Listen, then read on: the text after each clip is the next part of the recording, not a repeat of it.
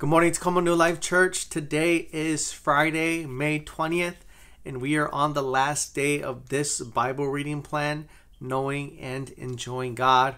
And I hope you've learned uh, something good. I hope you've enjoyed learning and being affirmed about what it means uh, to not only know God, but to know more of Him and to enjoy the relationship that we have uh, in uh, in Christ Jesus. All right.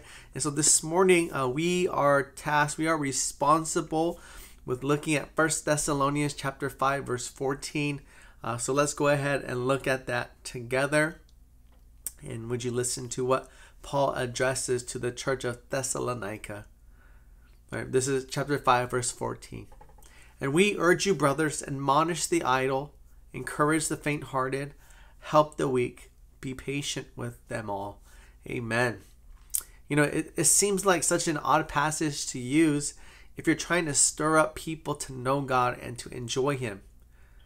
It, right? Like, doesn't that seem a little weird, right? It, it, it doesn't seem like it is the ideal passage uh, to use as a motivation to know God and to enjoy Him. But I think there is a rhyme to this reason. You see, in our devotional reading this morning, we are greeted with a quote from Matthew Henry uh, that says, When we are out of the way of duty, we are in the way of temptation, right? When we are out of the way of duty, we are in the way of temptation. And so staying busy and active is important, right? Upholding our Christian duties and responsibilities are of importance. But how does that lead us to into a place where we know God and enjoy Him, right? If we're trying to align this with the theme of our Bible reading plan. How how does that translate into us knowing God and enjoying Him? You know, our author believes that being idle sets us up to be vulnerable and susceptible to Satan's lure and temptation. Uh, the great Charles Spurgeon would even go as far as saying, idle people tempt the devil to tempt them. In other words, when we're idle, not doing anything, we are saying essentially to Satan, like, hey, can you tempt me? I'm a little bored over here.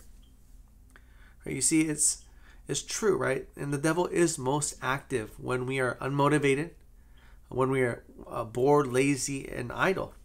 And I think I find it to be especially true when we are being lazy about the things that help us grow up and mature in the gospel.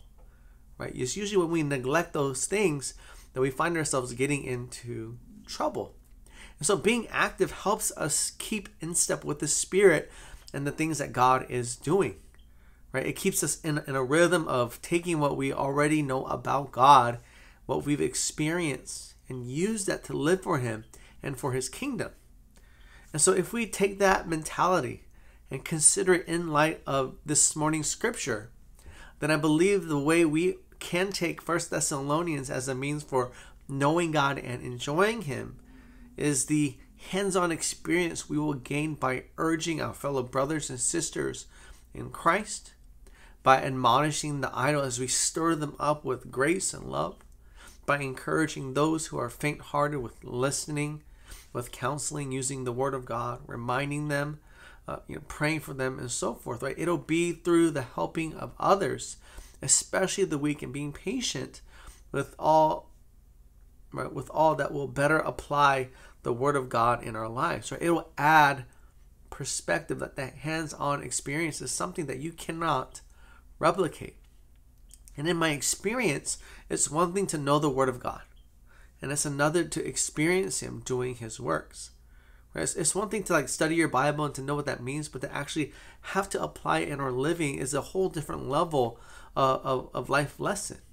Right? It's you know there's something uh, special, something irreplaceable when we are serving and being attentive to the needs of others. You know, like I'll be honest with you, it's, it's hard to explain. But if you've ever experienced it, you know exactly what I mean.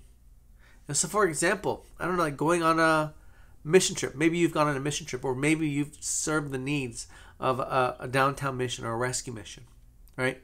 Um, going on a mission trip, that's that's tough, right? Being around broken people is tough. It's draining, but the feeling that you leave like the, that feeling that you leave with feels different yet wholesome Right? You leave knowing it was well worth it.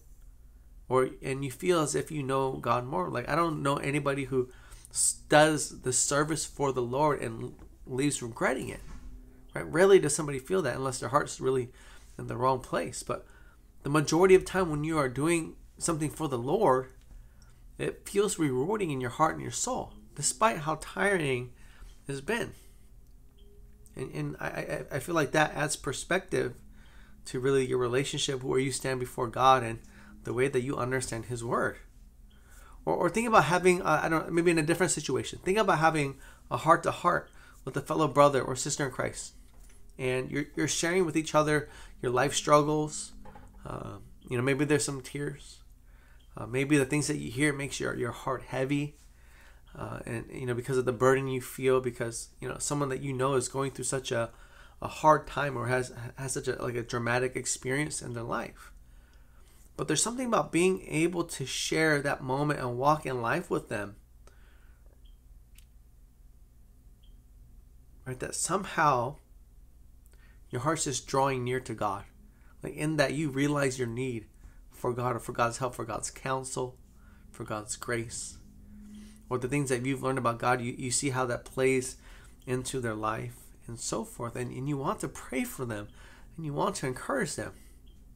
Right? Do you see how that works? Like some, there's something about being active with our faith and walking in life with others that makes God more enjoyable or stirs up a hunger or desperation within us to know Him more. You see, it's when we are actively living a life that reflects the faith that we have that actually allows us to step into life experiences and add perspective to knowing God and our ability to enjoy Him, right? And our ability to enjoy knowing Him, being loved by Him, and living for Him. Is if we are if we are actively living a life that reflects the faith that we have in Jesus, then doing the things that are listed in 1 Thessalonians chapter 5 verse 14 well, those things, I believe, uh, become not only natural, but we are more intentional about that because we will be loving others as Christ has loved us. And so, church, if there's a takeaway for you this morning, uh, it should be this let's not be idle. Right? Let's not be idle. Let's not become lazy. Let's not become discouraged. Let's not become dis- complacent but let us be active in our faith. And as we are being active in our faith, as we are loving others, will that allow us to know God, to know Him more, and enjoy Him, and enjoy being in the relationship that we are in with Him as we continue to walk this life. And so, church, uh, today is Friday. Uh, that means the Lord's Day is just around the corner. I cannot wait to worship with all of you this coming Lord's Day. And so until then, I pray that the Lord will bless you. Would He keep you? And until next time, or until Sunday, the Lord's Day, may you go in peace. Amen and amen.